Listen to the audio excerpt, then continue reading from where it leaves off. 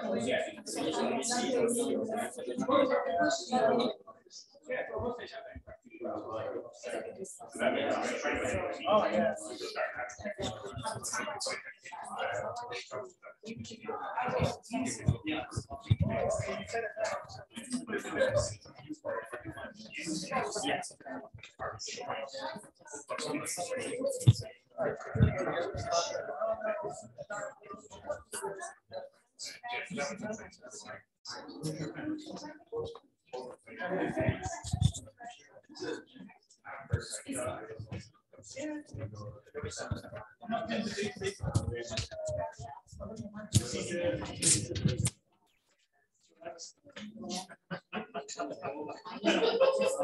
When it's a fade off, you I'm like, yeah, you guys take care of it.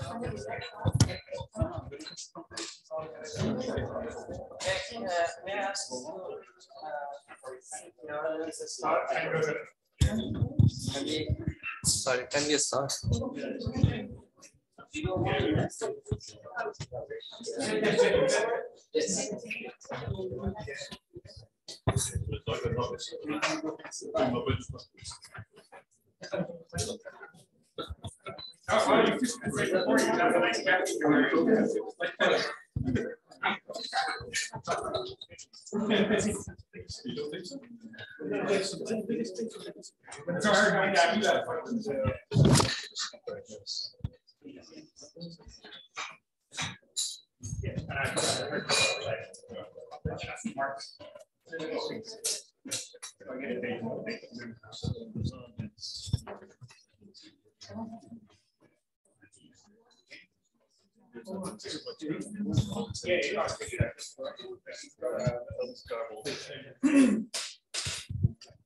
Hello, good evening.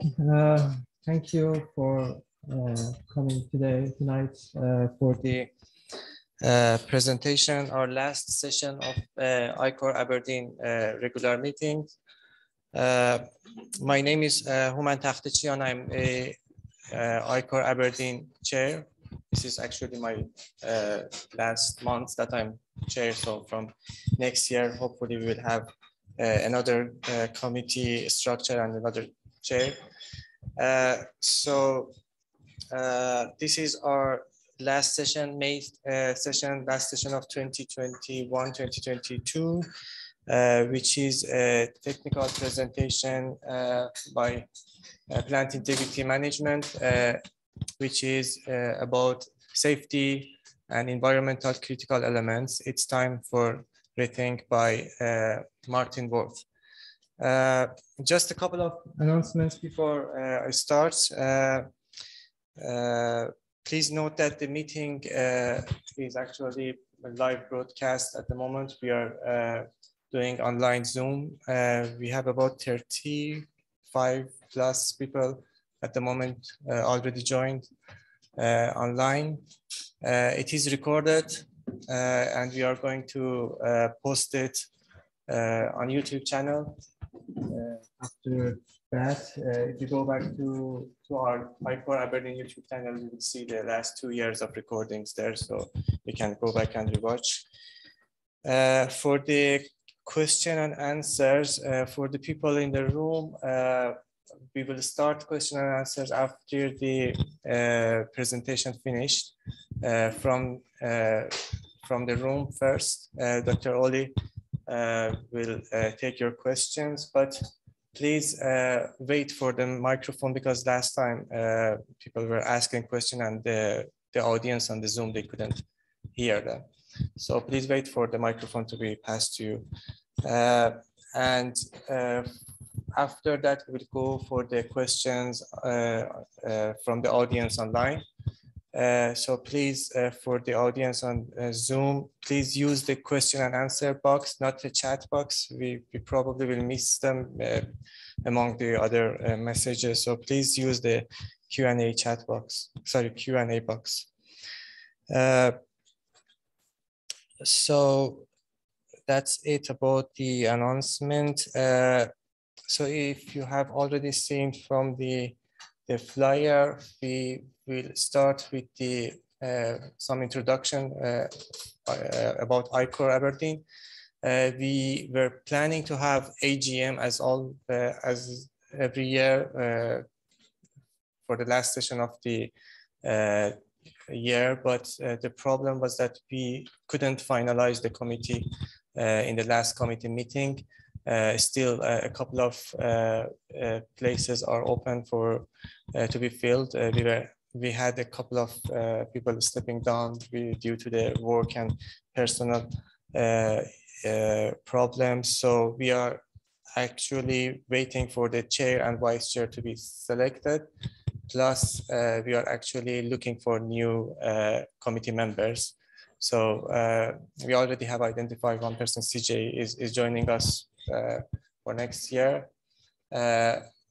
Mm, I would say 70, 75% of the positions are already filled, but uh, until we have the chair and vice chair for next year, we can't have the AGM. So it's postponed for next year, September. Uh, so just a couple of uh, things before we go for the presentation. Just wanted to uh, thank our branch sponsors. So this is only branch sponsors. We have sustainable uh, sponsors, gold sponsors, and uh, corporate sponsors, which you can find them uh, on the ICorr website. But these are specifically ICorr Aberdeen branch uh, sponsors. They have been, most of them, they have been with us for the last few years. Uh, and just wanted to thank them because without them, we couldn't arrange all of our I mean, all of these meetings uh, and seminars uh, on a regular monthly basis, paying for the venue. And at the same time, I mean, uh, this year we are also running the Young Engineer Program, which uh, we have to uh, pay for the prizes and other stuff. So uh, without the, the sponsors, we couldn't actually survive. And if, if you are not a sponsor and you're thinking of supporting ICorr Aberdeen branch, uh, please contact one of the committee members. Uh, so this is kind of an old photo before COVID. Uh, so we still didn't get a chance to uh, to take a, a group photo from the new committee structure, but this is almost uh, everyone in the in the committee. Uh, would go for the list at the moment. Uh, this is the structure for this year. Uh, Dr. Oli, Vice Chair, has been supporting myself and the, the, the committee last year uh, for all of the activities that we are doing. And he's in charge of, actually at the moment, he's charge of uh, uh, preparation of the program for, for the next year and also annual corrosion forum, which is happening in, in August. So he's arranging all of this stuff, a lot of work. Thank you, Dr. Oli. Um, Dr. Nigel also here, where you are, yeah, here. He's uh, our external secretary in, in charge of, uh, I mean, ma magazine write-ups uh, and the uh, correspondence externally with the uh, other uh, institutes and com companies. Lian Ling here, she's our internal secretary I think she, she will remain as internal secretary for the next year. Uh, a lot of work uh, for, for internal secretary, including uh, arranging the uh, monthly meetings and the uh, minutes of meetings and, and, so on. Brian Roberts, not here. He's in charge of uh, financial stuff for ICorr Aberdeen, communicating with, with the headquarter and council. Uh, Peter Furness, our sponsorship officer, uh, again in charge of communicating with the sponsors. Amir uh, Atarchi is not here. Uh, he has done a lot of work with the event co coordination. You probably have received some uh, emails from him, uh, invitations, Zoom setups and stuff like that. Uh, actually, CJ is going to take his role from next year, but Amir will support him. Lila uh, I didn't see Lila today. Uh, Lila uh, joined us last year and she's the university liaison in charge of communicating with the students in University of Aberdeen and RGU. And we also have started communicating with the other, a couple of other universities, Strathclyde and uh, University of Manchester for promoting our events and uh, inviting uh, students or the uh, professors to do some uh, presentation, speak for us, uh, and also the CPD officer, Dr. Yunan Gao, who has been chair for a couple of years. he's at the moment the website officer in, in, in charge of maintaining LinkedIn, uh, ICorr website, ICorr Aberdeen website, uh, Google website, and all of uh, the archived uh, slides and items on, on the website. Uh, uh, she's there. She uh, also has been with us for a couple of years in charge of the memberships and young engineer program and young ICorr coordinator. Uh, and uh, yeah, she's helping a lot with, with communicating with, with the young engineers who want to join um, the institute. And Dr. Steve Patterson, who has joined us, I think last year, is it? Yeah, yeah. Uh, so he's he's actually uh, has been very kind to to join us, uh, spending his valuable retirement time with us. Uh, and supporting young engineer program. So uh, I will uh, reach to the slide for the young engineer program, but uh, briefly mention here that he is in charge of men, mentors coordination. Uh, one of our mentors, Steve Plant, is here. Uh, so he's, he's the coordinator with, with the mentors just to make sure that uh, the, the, um, the process and everything is consistent and he also uh, was in charge of uh, defining uh, the case study for the last competition of the Young Engineer Program, which starts day after tomorrow, and the competition will happen in November. Uh, and a few of the previous uh, uh, chairs, Dr. Mohamed Ijaz, he has been chair for a couple of years, Stephen Tate, who has been last uh, before me. He was he was the chair and the year before that, and he has been for many years with ICorr Aberdeen. And at the moment, he's the vice president of ICorr uh, nationwide. And next year, he will start uh, the role of president of ICorr. Uh, and Alistair Sutton and Zahra also here. Yeah. Uh, at the moment, it's sabbatical, but she will be back soon. Okay, uh, so as I mentioned, uh, after the presentations, uh, all the slides, uh, technical presentation, everything will go online on the website. So if you, you go back to the previous years, you can go back to like 10, 15 years ago and find the previous slides, photos in the photo gallery. And uh, on YouTube channel, uh, you will find all the recordings from the last two years and uh, also the announcement, if, if, you join our LinkedIn uh, uh, channel, uh, you can receive all announcements and post uh, any updates and news about ICorr Aberdeen. So ICorr Aberdeen account is different from ICorr uh, general account. So if you are part of, I mean, you're a member of uh, ICorr account, you probably will not receive specific news about Aberdeen. Uh, so make sure that you are also subscribing for this one. Also, we have another uh, account for young engineers, ICorr Young, Young ICorr, uh, that you will receive also, especially for the students, is, is good uh, to receive some news and updates for the students.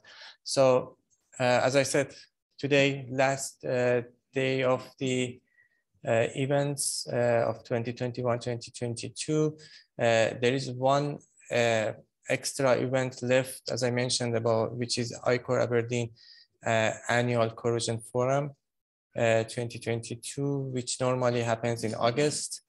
Uh, Dr. Oli at the moment is in uh, discussion with a few companies and speakers uh, for the uh, specific topic that we, we have this year, which is about energy transition uh, and uh, net zero target. Uh, so if you are interested, anybody in the room or online interested to join us uh, in August, for this seminar. So it probably will be a hybrid session. Some people will be online presenting and some people um, uh, in Aberdeen. Uh, so we are still uh, looking for, for the speakers. Plus, uh, if you are interested to host the venue, which is a the whole day uh, event, uh, so that's also a possibility. Last year it was in track and it, was just after the restriction of uh, COVID lifted. So it was our first in-person event in August last year. Uh, so as I said, next year program under preparation by Dr. Oli, and uh, you will receive it soon once we finalize the dates and the, uh, the topics and the annual Corrosion Forum as well. if you are interested in participating in anything, just send an email to uh, icorabz at gmail.com or or LinkedIn, or uh, there are a lot of different uh, ways of communicating with us. So just an update about the Young Engineer Program. Uh, you probably have heard about that before. Uh, this is first time we are doing it in Aberdeen. Uh, it happens every two years.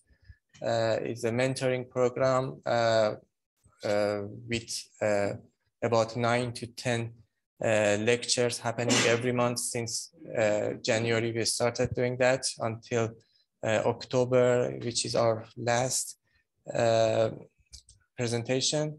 Uh, the presenters all from different companies, SMEs, uh, technical authorities doing presentation in different aspects of corrosion management, integrity management.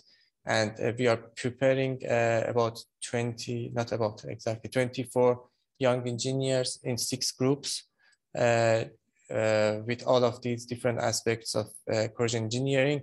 Um, after tomorrow, as I mentioned, there is a case study which will be launched for, uh, for the students to start working on them. Their mentors, six mentors will be assigned to them and then uh, they will continue working on their case studies until November. Uh, they will present it in front of panel of judges and one group uh, will be selected as the winning group and the prize is to send them to US for the AMPP or former NACE conference. Uh, and there is one, one extra uh, prize for one uh, person with outstanding performance that will send them again uh, to AMPP uh, leadership uh, course. And for that one, we are actually still working for the sponsor. it's about 2,000 pounds. So if anybody is interested to uh, sponsored at any company. Much appreciated. Uh, so the main sponsor is BP with the main prize, sending the winning group of four people to US. And Subsea 7 is sponsoring the venue.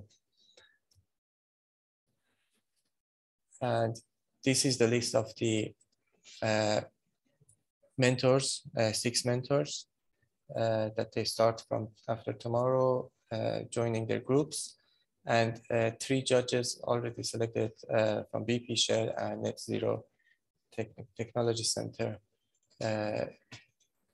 are helping us, supporting us for, for the final competition. Okay, so after this introduction, let's go back to the topic of today uh, program. we have Martin Worth today presenting uh, the safety and uh, environmental critical elements uh, time to rethink topic uh, from plant integrity management. So Martin uh, is the director at PIM and has over 30 years of experience with the field of safety management in the oil and gas industry. Martin, one of PIM's uh, founding uh, directors is an established figure within the oil and gas industry. His breadth and uh, depth of experience has been gained through a variety of technical safety roles within both operators and consultancy uh, environments. Martin is a physicist who specialized in safety management, but with particular interest in the fields of risk management, process safety, and risk-based decision making. He gradually from, uh, sorry, graduated from the University of Liverpool in 1988 with a first class honors degree in physics. So please join me and put your hands together to invite Martin to podium. Thank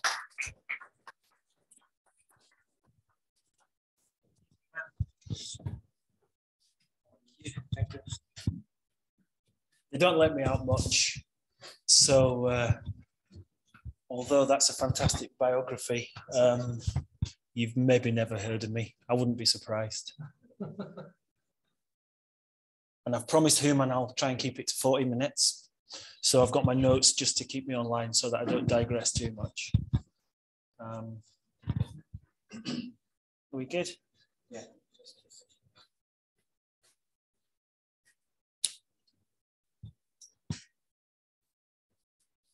Brilliant, thank you. So thanks, thanks for having me here. It's it's good to get a chance to uh, spread the word, spread the uh, spread the news. Um, my aim tonight is to give you probably the most entertaining presentation on SECEs that you've ever had. I like to set a nice low bar. You've, it's probably probably not going to be that difficult. Um, my background's technical safety.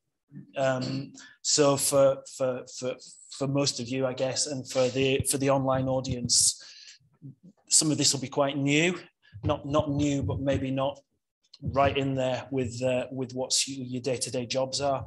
However, there will be some people in here that know everything that I'm going to say today and probably agree with it or disagree with it. So I apologize to any grannies who I'm teaching to suck eggs.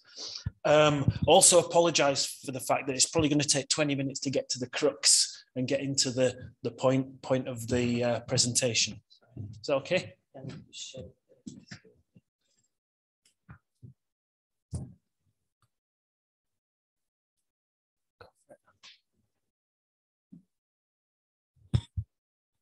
wasn't expecting to hold a microphone. I might break into song. And I do apologize if I did. You good to go?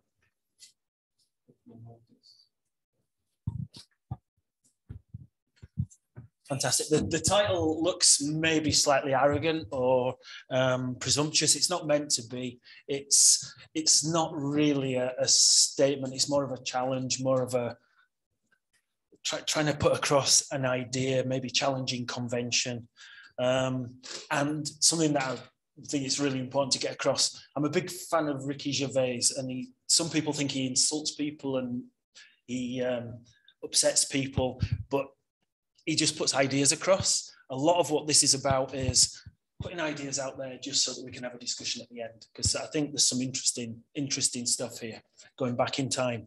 It does take a bit of working up to and you'll understand at the end why I'm going through the whole process that I am. First of all, just quickly, and it is relevant, a little bit of background about how do I move on a slide? What have you done?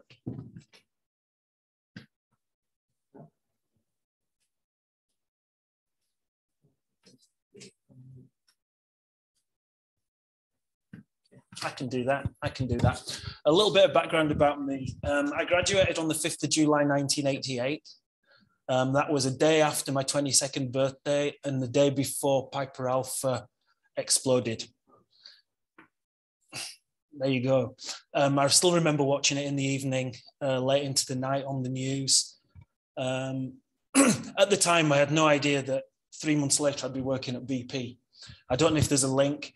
But in August, I took the sleeper up to Aberdeen and uh, won myself a job as a BP graduate um, instrument and control engineer, which was pretty good. Um, it was well paid. Instrument and control engineers, they're the ones that make the process engineers look good, but don't get paid as much. If you if you know what I'm saying there. Um, instrument and control, emergency shutdown systems, fire and gas systems, PSVs. So there was a, there was a big safety angle on instrument and controls. And after two years, I got bored of it. So I moved into safety engineering again at BP, and I spent the next four years of my career working through uh, uh, technical safety at BP. I then got made redundant along with thousands of others by John Browne with an E when he reorganized BP into a, a, away from being an oil company into a being more of a financial institution. Um, I spent the rest of the decade in consultancy. I joined AEA Technology, oil and gas, who are now, I believe, kind of ESR. Um, I worked for Genesis for a while. I worked for a couple of other consultancies, Vectra Vectra, Vectra Technology. And then um, we set up our own company up to the end of the, the, the century called Risks Limited, a little technical consultancy. That we um, we were acquired by a, a, large larger company in 2000 and then i spent the next 10 years as the lead technical safety engineer at talisman who are now a repsol and in 2011 i joined stephen plant at pim um, to bring technical safety to plant integrity management. I'm putting that there just to demonstrate that I do have a little bit of credibility, hopefully, in safety critical elements and technical safety. Let's see if I can make the computer work. Awesome. Right, that's background about me. This is background about the safety case and SECEs and everything else. You, you probably know all this, but you'll, you'll see where I'm going. Seven days after Piper Alpha exploded, um, the government announced that there was going to be a public inquiry. Um, they put Lord Cullen in charge of it. Uh, it's not the only public inquiry he's ever done. And it took him two years to come up with two volumes of the public inquiry to the Piper Alpha disaster. If you've never read it, you should. It's really good. You still get it in the library. Great document. Made 106 recommendations. I'll read my slide like you're not supposed to. The, the industry accepted all of them. And they then went away and created some regulations linked to this. The safety case regulations didn't come out till 1992. So that's four years from the Piper Alpha disaster to the regulation. So what did we do? I was in BP doing all sorts of things. And the, the key, the key thing that we did, I'm struggling with this. And show next. Lord Cullen said, while we're writing the regulations and while we're doing the inquiry, um, we'd like you to do four studies the forthwith studies. I don't know how many of you are old enough to remember this. Um, it was obvious that there were certain things that were going to be relevant in the safety case regime. And four studies were uh, initiated. The emergency systems review, which was all about um, fire and gas systems, emergency shutdown systems, and what they should do in the event of a major accident, how they should react. Smoke and gas ingress studies were done because a lot of people in Piper Alpha had succumbed to smoke and um, flame inhalation type injuries. Fire risk analysis is obvious. If you've got an offshore platform, where are the fires going to be? What explosions are going to happen? You need to understand them. And the evacuation, escape and rescue uh, study, which was to do with lifeboats, escape routes, lighting, all sorts of stuff like this. And, and this all um, this all took a lot of effort. There were big teams. There were there were teams of hundreds of people in the industry putting together these studies, trying to work out what was going to happen when the safety case regulations finally came out, because no one no one knew. No one knew what was going to be required. I know BP wasted huge amounts of money. They'd never admit it, um, developing philosophies for subsea isolation valves because they were convinced that the regulations were going to require SSIVs, and then they never did. Um, so it was it was a lot of stuff was up in the air. No one really knew what what to expect. Just very quickly, some of the some of the recommendations from the Cullen inquiry were you need to create a formal safety assessment. You need to tell us about your safety management system. How are you managing your threats? There was a big part of it was carrying out a quantified risk assessment and that was to demonstrate that the individual risks and the um, societal risks to individuals working offshore weren't larger than equivalent industries, and the equivalent industries were considered to be um, construction sites and trawlers, I believe. Um, so all this stuff went on, and eventually the regulations came out. And that's not how to do. it. That's the right click, isn't it? And there we go. The regulations came out. These, these regulations, the safety case regulations that are shown here is it's the guidance for the 2015 regulations, which I believe are still the latest ones. They were produced as a result of the European Union directive, um, which was based on the 2005 UK regulations. Um, we didn't we didn't do Brexit fast enough not to uh, not to need the 2015 ones. Um, but the safety case regulations um, were supported by new, a raft of other regulations. The relevant ones for tonight's talk are the PFEER regulations and the DCR regulations, and I'm sure you know all about that. But what came before? I thought while I was putting the presentation together, what, what actually came before? And what came before, it would appear, bear in mind, I only started in the industry in 1988 when the safety case regulations were being developed were another set of offshore installation regulations. I think it was 1974 the last time they were they were out, but I'm, i might be wrong. I'm, I'm not uh, not great with these things. And what they required wasn't a safety case; it was an operations manual and a certificate of fitness. The whole regime at the time was tell us tell us about your platform create a manual that explains how it all works and you need a certificate of fitness. And this certificate of fitness was essentially an mot certificate. Um, interestingly a lot of um, a lot of um, engineering managers that i've worked with over the years whenever you go and ask them for stuff they, they, they open a cupboard a little dusty cupboard in the corner and they take out the old operations manual because they were they were they were gold dust. Um, there was nothing wrong with an operations manual. And to be honest, it's very similar to what a safety case looks like, just slightly, slightly different. Um, there you go.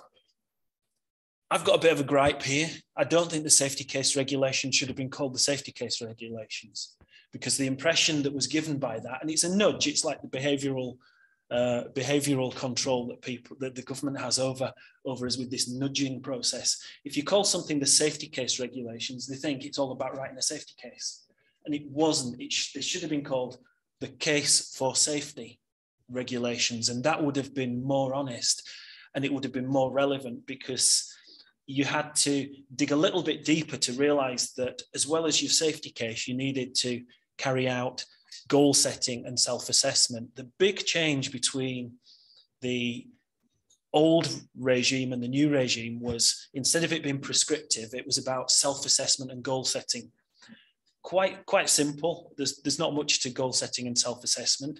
And don't get confused between self assessment and self regulation very different things. But essentially, it meant rather than us telling you what to do, you go and find out what the hazards are on your platform, work out what the risks are, and work out what you're going to do about it.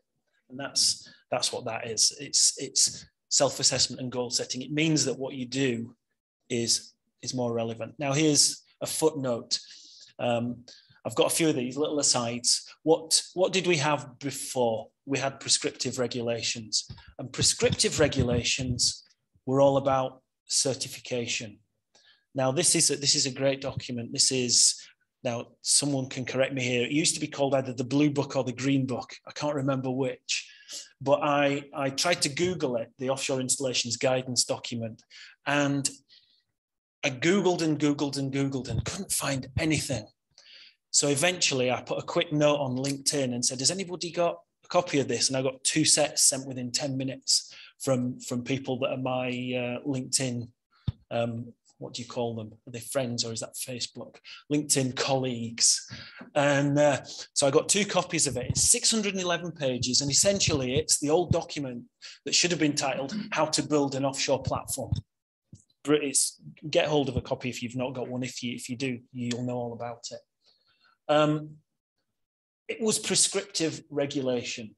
And the first thing that they prescribed not the first thing, the 2.31 thing they prescribed, but it's it was so prescriptive that they even prescribed who you had to get to certify you. The certification bodies were prescribed. It does say performed by six. The one I've missed off. It wasn't deliberate. It was, I guess, so that I can just give them a shout out. DNV should be there as well, I think. they were the sixth, the sixth one, but you had to be certified by one of these, one of these bodies. Um, and just, just, just again for completeness, the contents was here. It told you how you had to, how you should build your, how you should mix your concrete, what steel you should select, how you should light the platform, how you should paint a H on the heli deck. Um, and each of these sections link to APIs or codes or standards or, or whatever. I used to use it in uh, my early days at BP. I did a lot of stuff on ship collisions and there was a section in there that told you how many megajoules of energy a platform should be designed to withstand. And it, I still remember it, it was four megajoules for a head-on collision from a standby vessel and 14 megajoules from a sideways sideways on vessel. So it was, it was that prescriptive and you just knew if you wanted to design a jacket, that's what you had to do. Um, that's number 11.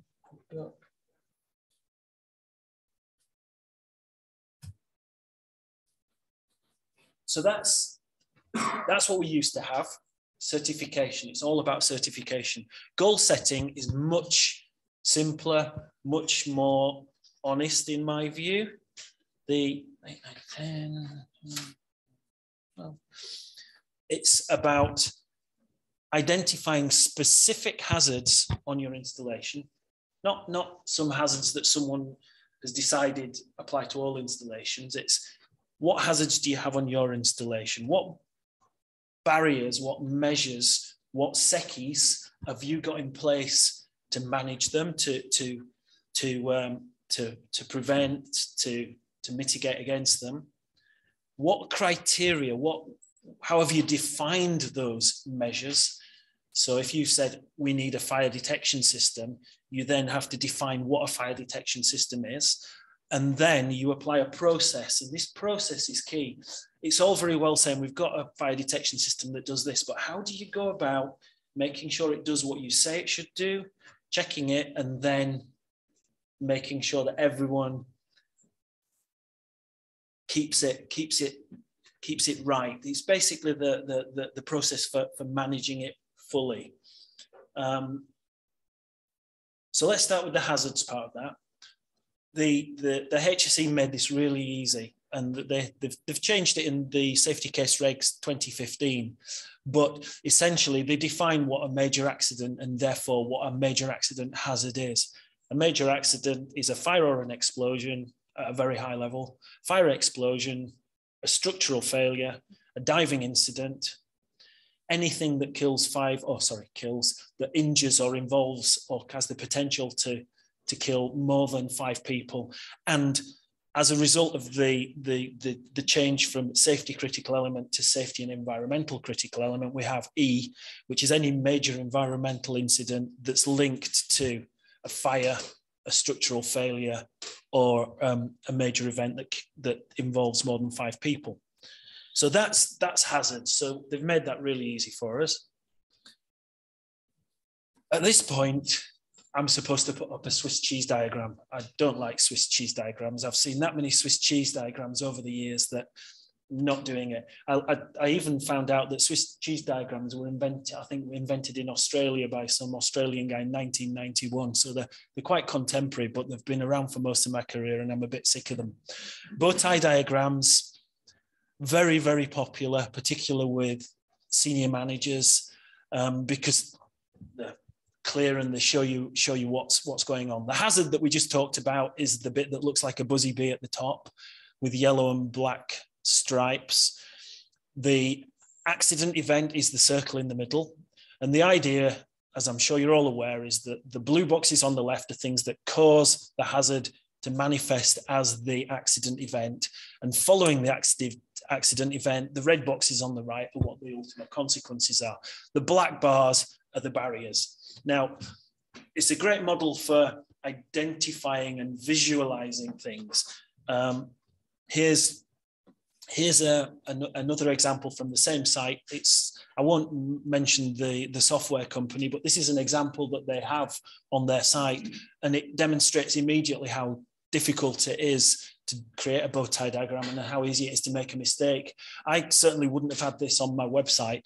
Um, the I don't know if you can read it. The barrier that I've circled is proper PPE anytime the student is in the lab. And this is to do with acid. So spilling acid from a container. The hazard is acid.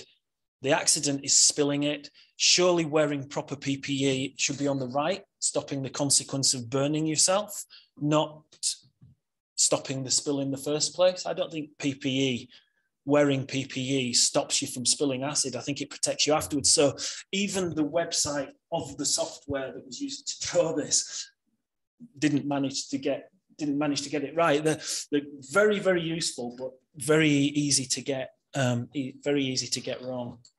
Uh, I'm not being critical. I'm not trying to disrespect anybody or any, anything here. I'm just uh, pointing that out. Um, so how do you specify measures? What this does is it identifies measures, it identifies barriers, it identifies SECEs, but it does nothing for telling you what the SECE should be. For example, it said proper PPE. It didn't say whether that was a mask. It didn't say whether that was gloves. It didn't say whether that was a full bodysuit. It just said proper PPE. You now, for your specific scenario, have to define what that is. Now, this is another example where the HSE um, confused everybody. Apologies if there's any HSE people in here or, or, or online, but the HSE confused everybody by defining safety critical elements at the time in two different ways. And this does confuse. One is where the actual safety critical element failing causes a major accident, and the other is where the purpose of it is to protect or mitigate against. So these are two completely different things. And over the years, this has caused so much, so many arguments and so much, so much disagreement. Um, I was lucky enough back in the mid 90s to be, I was working in Oryx Energy at the time on Riverside. Um, down in Centurion Court. I don't know if you know it, opposite Aberdeen Boat Club. And I still remember sitting in the office, and a guy from the HSE came. He was a HSE surveyor, inspector, whatever. And he'd been involved in the development of the PFEER, DCR, and safety case regulations. And he told us that the reason there were two different types of SECE, SCEs at the time, was because it had taken that long to get the regulations out that they'd been pushed into getting a set out. This was, we were waiting for years. The, uh, the safety case regulations came out in 92. It was, it was years after that before PFEER came out. And we were all just desperate to see what was in the regulations. We'd had interims, we'd had explanations, we'd had all sorts of stuff. But um, the reality is that they had to get a set out. And, and I believe that I can't remember whether PFEER came out before DCR, to be honest. But one used one version of a SECE and one used another. And there were massive arguments about what type of a SECE was it? Was it one that failed or was it one that, that pr protected? And again, another footnote, another aside. Let's get back on track. Um, measures, let's call them measures. Measures, barriers, safety critical elements, arguably should be all the same thing. That's what the HSE guy said. They're all the same thing. Don't treat them differently. But people argued that measures in DCR were different to safety critical elements in PFEER, were different to barriers in something else, and they weren't. If you look at the APOSC, this is this is if you if you're ever lucky enough to be involved in safety case production, this is the document to go to. The assessment principles for offshore safety cases. This is what the inspectors use to decide whether your safety case is any good. Um, it's not a secret document. It's also available, as you can see, to all stakeholders.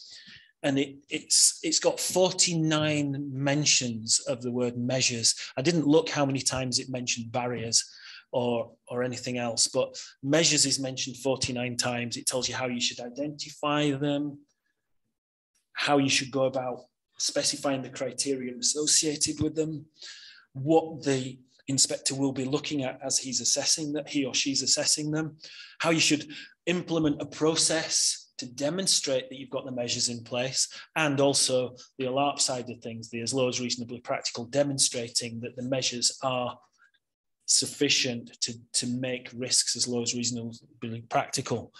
Um, an example of, of one of the uh, one of the one of the sections in there is is this principle 15. There are lots of principles in the APOSC. This one is the one that says when you identify a measure, when you choose a measure, you should give preference to measures that prevent something then from happening or eliminate it rather than looking for things that mitigate. So, for example, simple, it's, it's not rocket science, stop the explosion from happening, stop the fire from happening in, in preference to produce providing a, a, lifeboat to escape with. It's better to stop stop the explosion in the first place than it is to make sure you've got some way of escaping. And and it's it's it's this idea that um, you know there's a there's a hierarchy of measures. Again, this is something else that people have clung on to. It's it's, it's useful, it's relevant, it's obviously correct, but um, that's the kind of thing in the APOSC. So once you've taken your bow tie diagram and you've identified all your measures for, a, for an installation or a platform or, or, or a site, what does it look like? What does the list of barriers, measures, SECEs, whatever you want to call them, look like? And this is two separate lists. The list on the left, I apologize if you recognize any of these from your organization, but they are anonymized. Um, there's a list on the left from one company and a list on the right from another company. The list on the left has 22 SECEs the list on the right, I think, has 53. Um, they're both right. There's nothing, nothing wrong with that.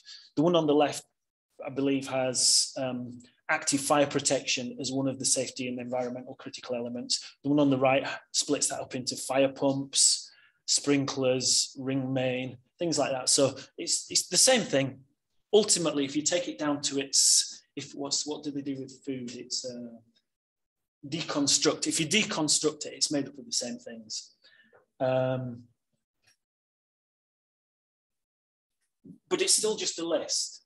It's still just a list of SECEs. You've not yet, when you get to this point, actually set any parameters or criteria for each um, for, for, each of these safety critical elements. So we've we've identified them, but we've we've not set anything for them. So another footnote where, where what do you do? Back in back in the early 90s, no one had a clue. We, we, we'd seen, um, we, we knew the safety case regs were coming out. We'd seen um, draft versions of PFEER and DCR. And then DNV brilliantly paid for a center spread. I don't know if any of you remember it a centre spread in the Press and Journal, and it was entitled "No, no need to fear fear" or something like that, and and it was it was DNV doing an advertorial of "We know how to do this. We can do this for you," and and it, it what they'd done is they'd looked through all the interims and draft what I believe they'd done. I don't know what they did. I wasn't working for them. They looked through the regulations and they found functionality, availability, reliability, survivability, FARS. They coined the, the acronym FARS because it, it, it, didn't exist before then. They also looked at prevent, detect, control, mitigate, recover, which is that hierarchy from uh, principle 15. And, and they drew this into this, this double page spread. And and everybody just went, oh, I guess we do it like that then. It, it, that's how it felt at the time. I was, cracky, I was, I guess it was late 20s. And um, at the time, I was working at AEA Technology, as I say. And I, I dug this out the other day. This was September 1995. And my manager there um, was on a working group that were trying to come up with templates for how performance standards should be written. And uh, and I'm, I'm quite embarrassed really that that that was a that's that's from that document it this was how we wrote an emergency shutdown performance standard it it's i hope i hope you agree. I wrote the word down here just so i didn't forget it. Um, what's the page? 23 I hope you agree that it looks inadequate. It's how how anyone is supposed to maintain to that, assure to that, or verify to, you know, verification confirmed by site survey, function test against philosophy, or you know, the criteria is list of initiators. It was it's a, it's it's dreadful, but no one no one knew any better almost. Um, it was just what we were doing. This was done for BHP down in Liverpool Bay. So this was their, uh, this was a document written for them. And, and what, what the certifiers wanted at the time, in my, in my opinion, the DNVs, the Lloyds, they just wanted to carry on doing what they were doing. They, did, they didn't want to verify. They just wanted to carry on doing certification because that was their business. And the operators didn't really know what they were doing, and the consultancies didn't know what they were doing. So what we ended up was with was a with a hybrid scenario where the the the, ver the, the verifiers, the, the ex certifiers, carried on doing what they were doing, and everybody else went, "Oh, it's fine. That's that'll sort us." Because actually, if you tried to follow this, we'd be in a right mess. Um, more recently, we've got stuff like this, far more detail. It splits assurance from criteria, it splits verification. It's, it's far more detailed in terms of the information. But what I'm suggesting is, in reality, we've still got a hybrid certification system. We're not doing real verification. We're still just doing certification.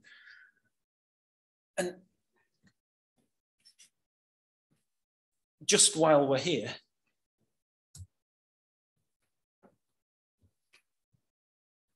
another footnote. We're talking about performance standards and SECEs now for operational. It's not that simple. So those SECEs that we were just looking at, those performance standards, although it's still certification, it's also, we've got design performance standards and we've got decommissioning performance standards. Tonight, we're just talking about operational, but there's, there's, a, there's a whole, there's a whole spectrum, if you like, of of performance standards throughout the cycle and we don't know what we're doing. We're still certifying it. Now, if we go to this, let's go back, take a step back. Let's go to type B. You remember there were two types of SECEs. Let's look at the ones that I think are the more, what's the word, more honorable ones, the more worthy SECEs. Something the purpose of which is to prevent or limit the effect of a major accident. This is properly a barrier. This is a barrier. This is a measure. What's an example of that?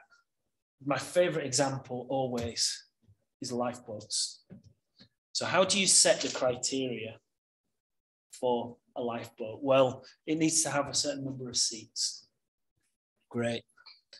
And maybe you need one more lifeboat than you need, if you like, redundancy, um, as part of as part of your, your your your model to make sure you've got enough stuff.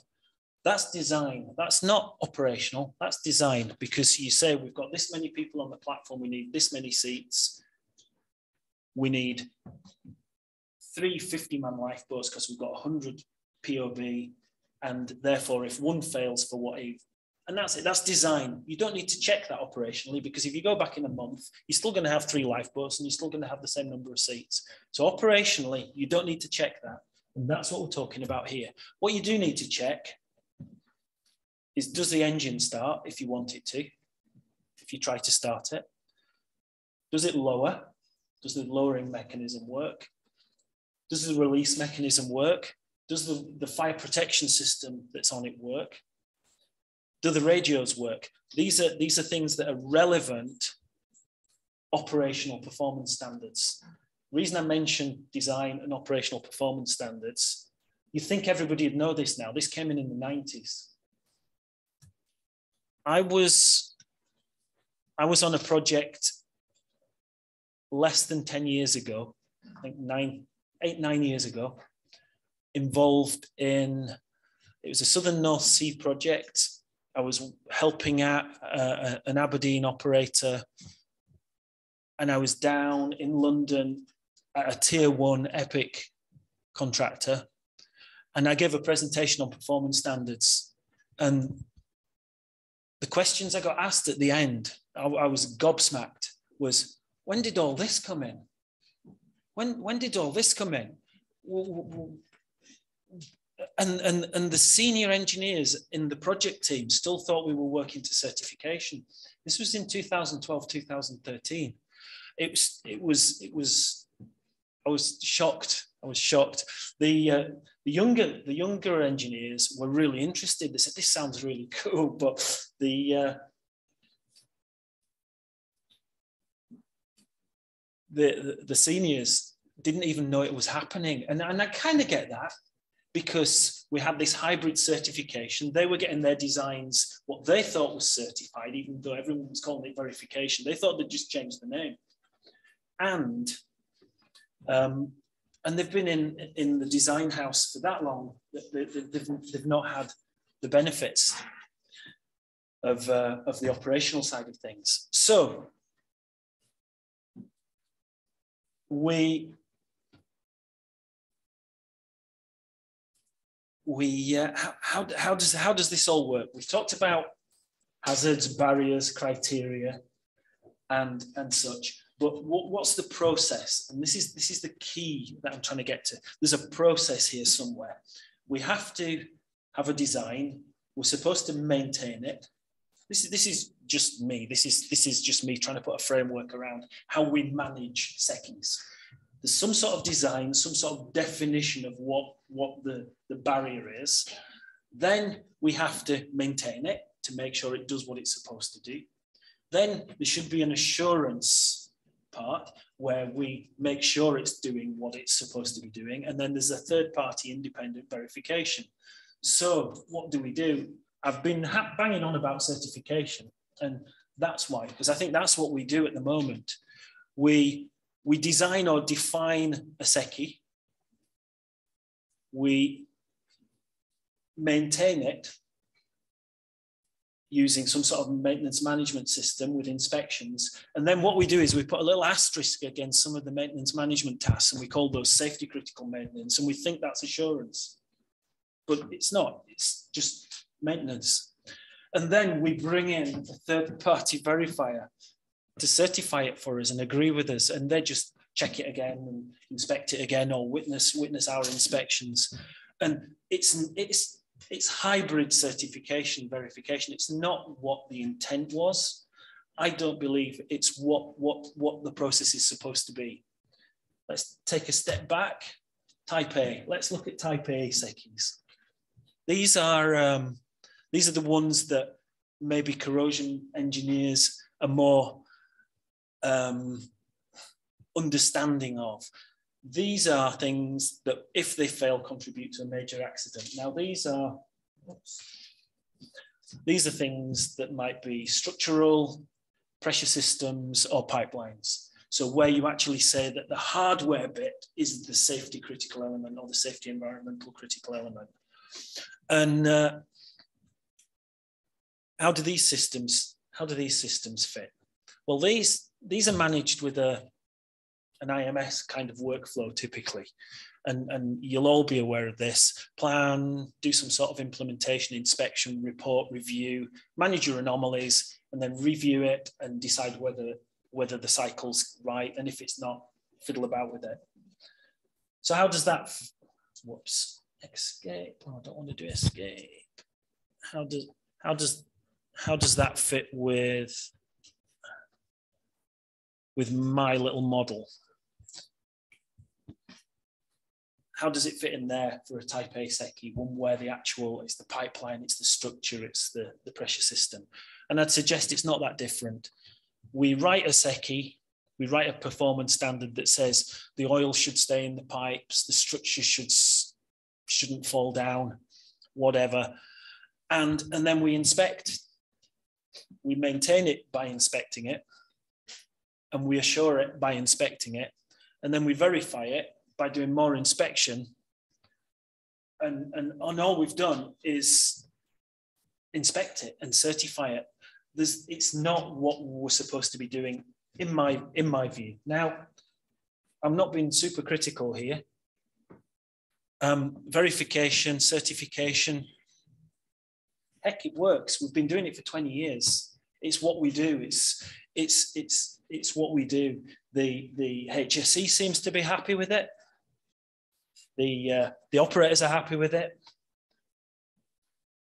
The verifiers are happy with it. Everyone's happy with it. It's you know it's it's fine, and we've made it work. But I'm still saying it is hybrid certification. It's not really where we should be. Um, and there might be a better way. And we'll get into the good bit now. Design, what should the design be?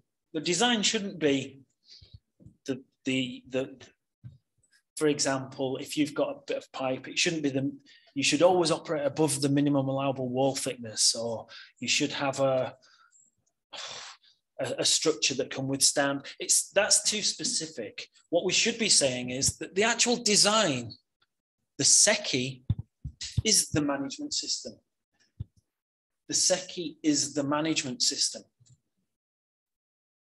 That's that's the design. And if you design this properly and treat that as the safety critical element, everything starts to fall into place. Maintenance, then, the next step becomes that you just do it. So you've designed a really good integrity management system, and then you apply it. And that's all you need. If it's, if it's a good integrity management system, you don't even need assurance. But of course, you need assurance. What's assurance? It's an audit. You audit your management system. You just make sure that you're, it's an internal audit. You make sure you're following the procedures. You make sure that you're, um, let's go back to it. You make sure that your planning's been done properly. You make sure you're implementing it. Your reporting's good. You make sure that your anomalies are good. You make sure there's no backlog. You make sure that everyone that's doing it is competent. You do you do all the things that you would during an audit. And because you've got a well formulated integrity management system it's easy to audit. That's what assurance is. That's what it should be. It shouldn't be doing more inspection. It should be checking that your management system's working properly. Then verification comes along and a third party independent body comes along and says oh let's have a look let's just keep you keep you straight here. Let's make sure that your management system is well formulated. Let's identify if there's any bits that it's missing. It's, it actually needs a bit of bit of bit of brain now verification because you have to you have to think about what the management system's supposed to be doing. You examine the in the inspection reports. You make sure that the assessments are done properly. You make sure that the operator is following their own management system. And of course, there's a little bit of sampling and witnessing yes, of course, you make sure that the inspections have been done properly. You make sure that there's the competence there. And, and that's great. So this applies to structures, process pipework, pressure systems, and um, pipelines. But is that all? No, of course it isn't. Because once you've done this, you can treat everything your lifeboats, your active fire protection systems, your, your valves, emergency shutdown valves, your escape routes, you can treat them all by rather than saying the sprinkler is the safety critical element or the lifeboat is the safety critical element, you say, okay, for everything, we'll create a management system, an integrity management system, and then we'll treat that as the safety critical element. And by doing that, you've got a SECE management process that, that matches absolutely everything. You've got a standard process. Design, the, the, the design is the design of the management system. The maintenance is the application of the process. Assurance is the audit of the process. Verification is an independent third party audit of the whole process. And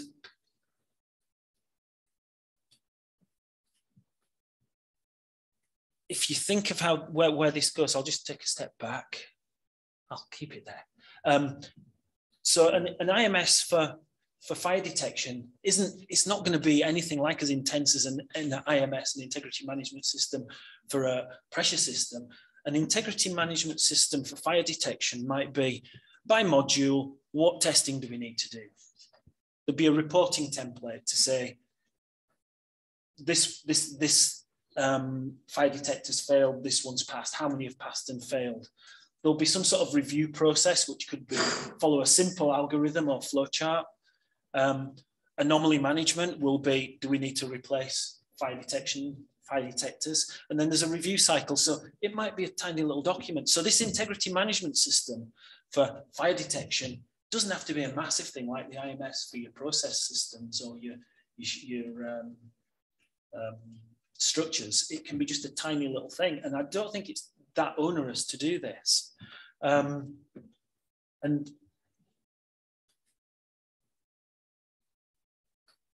what that gives you ultimately is huge benefits, huge benefits. You get rid of the duplication, massive amounts of duplication through inspection, inspection, inspection. I sound like Tony Blair. Um, you inspect once, then you assure it, you, you audit your system and you get a verifier in. Far less administration. It's a much clearer process. You could have an integrity manager who just uses the same process for every one of the SECEs, exactly the same stuff, exactly the same process, and it starts to make sense. And you don't have the arguments of that's not a SECE, this is a SECE, that's not a barrier, that's that's oh, and it's it's the type A, type B thing absolute nonsense and a common process. There are challenges. I've, I've discussed this with HSE inspectors, I've discussed it with technical authorities from different organizations, I've discussed it with to, to, the end of the earth.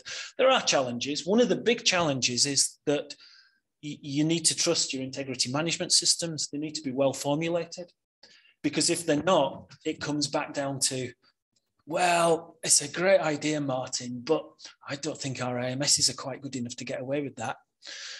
Well, that's telling you something, isn't it?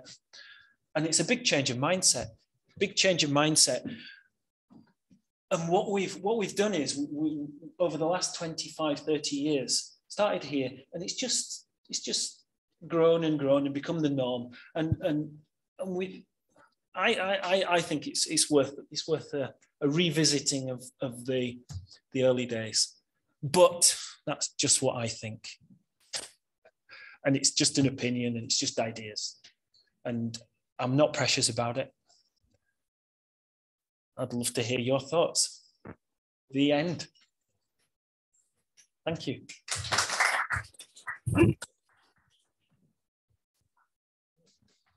Thank you very much for your presentation.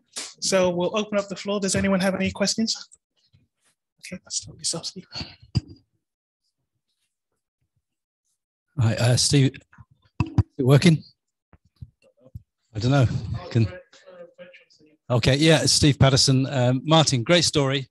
I think it's really good to to really go back in history and explain where everything came from, and I think that's really important, particularly for younger engineers, because uh, yeah, these things didn't just appear; they they they evolved. Yeah. Um, but a couple of things. First of all, I mean, I left Aberdeen uh, in 2014, and when I left in 2014, we the operator I was working for certainly wasn't doing third-party inspection, not at all. So that's not very familiar to me. Um, but certainly, the verification was done of the management system, so that was already happening, yeah. uh, and I think it's the right approach. Um, but what I want to pick you up on really is, is that you used inspection, it's integrity, talking about inspection management system. I think you actually mentioned inspection. And I think it, you need to, to go back a bit and look at corrosion management because it's important to do the prevention, elimination, yeah. Uh, as you mentioned uh, quite rightly. Uh, and it's, it's really about doing that RBI in front of the planning, if you like. If you can go back to that circle, so you can reduce the amount of inspection you need to do already. Uh, and then your process, as you quite rightly portrayed, becomes more effective. Absolutely. If you've got the, if you've got your IMS correct, you, are ninety percent of the way there. It's just, it's just there is still in a lot of cases not related to corrosion, not related to um, structures and such, that this this hybrid certification, which is wrong. It's just wrong. But no, if you've got a good IMS, that's that's what I'm saying. Absolutely, I don't disagree. Okay, any more?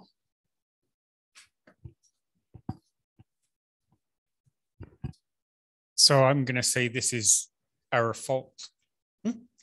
One of the operators I have worked for in the past is was very close to your end model, Great. but we wouldn't sell it to them because it wasn't what we like to sell.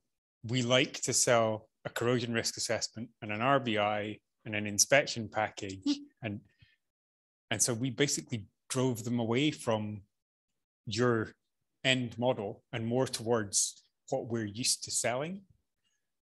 And I think it's been to their detriment.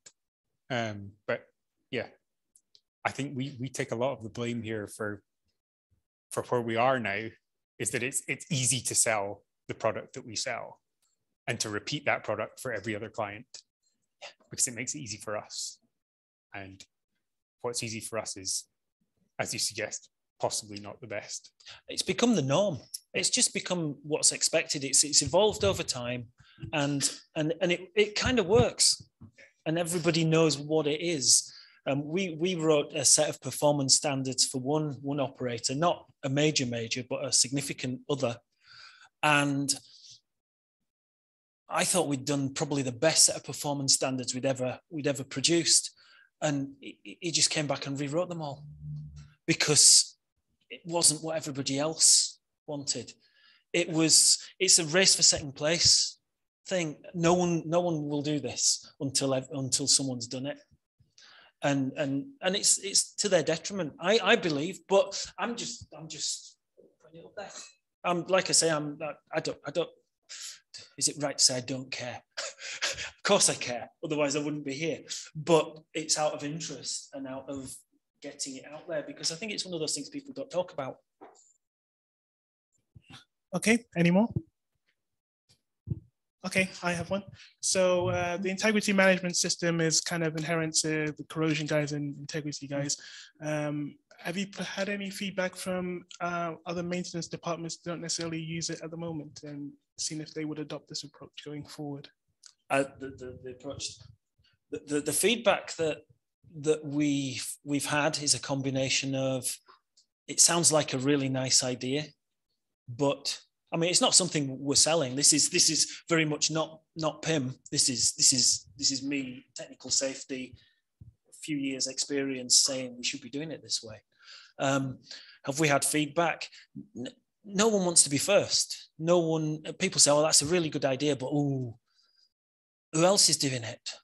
And no one else is doing it. But that's, you know, when I, when I was creating the presentation, it was I was working my way back, and it, it, it, you can see where it comes from. You can see that it was the fact that the HSE were forced to rush out one set of regulations, and then you can see that DNV's centre spread drove us down another route, and and all the way there's little things have happened, and and it's never been awful we've always got away with it, potentially because the verifiers, the certifiers, have held our hands and looked after us and carried on doing what they've always done. So, um, and it, the HSE even now will say, hmm, maybe we should go back to a bit more prescription. you know, I've, I've heard, you, you'll all have heard that where the HSE have said, well, you know, prescription's not that bad really, because there's ways of cheating a verification system. Um, Mm, I don't know. I don't know. I don't know. Certainly interesting. Okay, um, if there are no more questions here, I'll go. Oh, one more. Yeah. Does anybody want Yeah, to try it? By the way, Yes, Steve, Steve Patterson. I, it's very familiar to me. So the operator I was working for is, was already doing this. So Yeah. for everything or just for the just well, I, my my my my remit was really integrity. So Yeah. yeah, okay. yeah? so, and but, most people are nearly doing Yeah, it or yeah. doing it for integrity. but interestingly, uh, during my tenure there is uh, my I had a different relationship with the verifier, I might add, but um, or the verification body. So, did you ever have have you come across a situation where, and certainly I did this, was to actually refuse the verification? uh, because you can do. Uh, you then have to justify it to the regulator. But if you can justify it to the regulator, you can actually push the verifier back and say, I'm not accepting this verification. And I did that on a number of occasions, provided you have the evidence. And certainly, if if you have a system like you're showing here, then I think you have a good case to push back uh, when you get that what I would call interference rather than than uh, assurance. Absolutely. The, the- I mean, one of the key differences between the, pow- the power that the certifying bodies had was taken away from them with the verification because you, you'll, you'll know it was up to the operator or duty holder to write the verification scheme that they were just supposed to apply the verification scheme. They weren't supposed to tell you, they were supposed to apply the scheme that you gave them. And if they didn't agree with that, they could send you a letter saying we don't agree with it, but they still had to apply it and they still had to follow what you thought. And you could also go back and say, I don't agree with you. That's not right. I, I had that experience a few times in Talisman where I had long arguments with with the uh, the verifying bodies where, where they were just asking for silly little things. And I'm, I'm like, you're certifying me here. You're not listening to what the hazard is. You're not listening to the safety engineering behind this. And it was a struggle because they were stubborn. They were stubborn. And you know, if, if you if you got your way, well, well done, because they are they, they were they were they were stubborn because they wanted to do it the way they did it, and unfortunately, or fortunately, they had the support of the establishment to some extent, and it was difficult. It is difficult to push back on these the, these these arrangements. It's um, it's not trivial, but what I'm trying to get across is that it's not just perform it's not just pressure systems structures and and other things that are naturally falling into the IMS that, that, works this way. It would be much better for lifeboats to have a, an integrity management system that explained what you were supposed to look at, have a process that you went round, and then all you have to do is audit yourself and get a verifier in. You don't have to have verifiers going offshore to watch your lower lifeboats or test the motors or all sorts of stuff like this. And, and the cost savings, I think, would be would be huge. But there's a bit of there's a bit of a potential barrier initially because you have to get the mindsets changed and you have to create IMSs, integrity or inspection maintenance systems, management systems for all your SECEs. But if, if I was an integrity manager, I'd be potentially pushing for it, but I'm, I'm not. I'm just a, a lowly consultant. Okay, okay, we'll go to the, oh, sorry, one more. Oh, Yeah. no, One second, one second, just pass the mic. Oh, sorry, sorry. You you mentioned that this, you believe that this system is working, but the old um, system is working as well, the existing one. So do you think that the the advantage of implementing this system um, justifies the- operators moving to it, um, you I don't know. without having I don't know. I, d- I don't know. It's it's up to an individual operator to decide whether they can see the benefits. It needs a bit more flesh on the bones. It needs it needs someone to actually think about what's involved and how much effort. You know, that if, if, if I if I went in somewhere, I'd say, okay, well, let me write you an IMS for lifeboats. Let's see what it looks like. Let's see how simple it is. Let me write you an IMS for um, fire detection systems. Let's let's see how it would work, and I'll tell you what it looks like, and I'll tell you what you actually need to do, and I'll write and I'll draw the flow chart.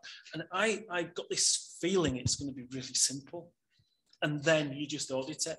And I think you'd start by doing one just as an exemplar, and then maybe someone will go, "That's fantastic! I didn't realize it would make that much Yeah, difference," I think- or not. I Yeah. don't know. I've not done that. Well, I, I think that's the, that's the, the, the- that's the um, um, the main point. Uh, people don't want they don't have that confidence that they will get to where to where they want if they employ it. Mm. But if they have that confidence and they know that they are not they are getting something, then they would go for it. It's, it's going to take time, but as I said, because it's not formal um, activity that anyone is doing, yourself or Yeah. anyone's doing.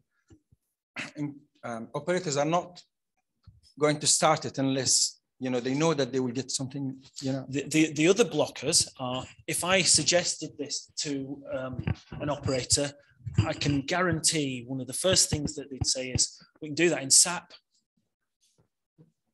We can do that in Maximo.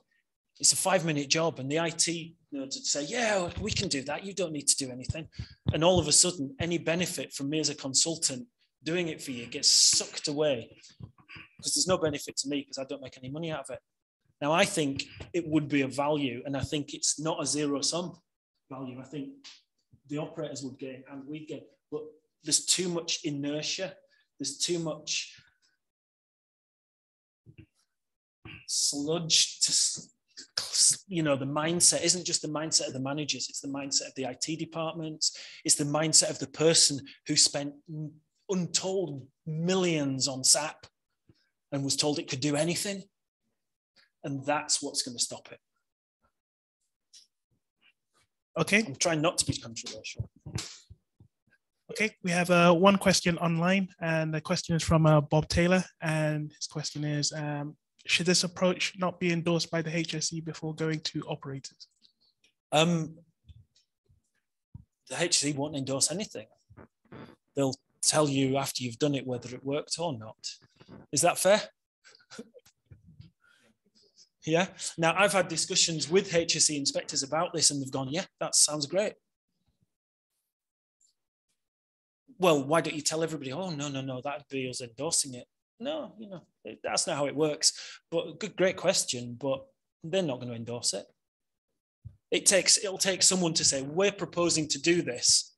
This is what it's going to look like. How are you going to, how are you, how are you going to deal with this? And you'll either, well, I don't know. I'm not in an operator anymore. well, well, hopefully things will change for the better going forward. So, well, it's, it's ideas. Excellent. So, uh, thank you for an excellent presentation, and we'd like to thank you in the usual way. So.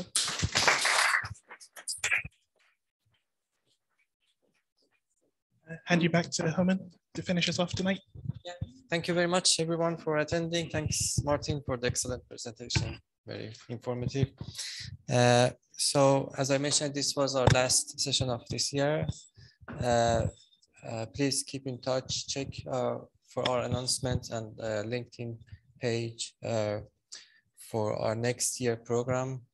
we'll start, as I said, with August for annual corrosion forum and from September, our next year program. So we were waiting to test the turnout today and uh, it's fantastic. We have enough people, so we'll continue with the hybrid session because uh, if we didn't have enough people in face to face in Zoom, we would go back to the, the Zoom or online, the online. But I think we'll, we'll continue with this. Thank you very much and uh, have a safe uh, journey back home. And thanks everyone online.